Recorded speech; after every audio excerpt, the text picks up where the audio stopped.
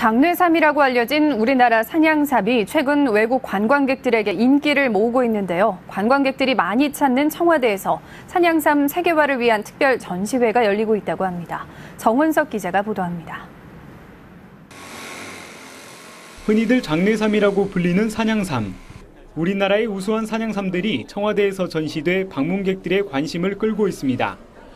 한국임업진흥원은 중국과 일본 등 해외 관광객들이 많이 찾는 청와대 사랑채에서 국내 우수 산양삼과 관련 제품들의 특별 전시회를 열었습니다. 전시회엔 임업진흥원이 품질 관리 제도를 통해 뽑은 7년근 이상의 산양삼 150점을 전시하고 있습니다.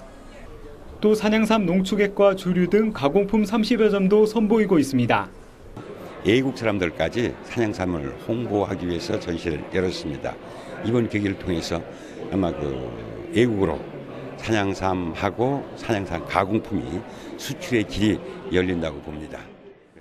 국산 산양삼은 서울시립대학교 연구 결과 밭에서 심고 기르는 중국 등 다른 나라 삼보다 사포니 성분이 더 풍부해 면역 기능과 항암 항염 효과가 훨씬 뛰어난 것으로 밝혀졌습니다.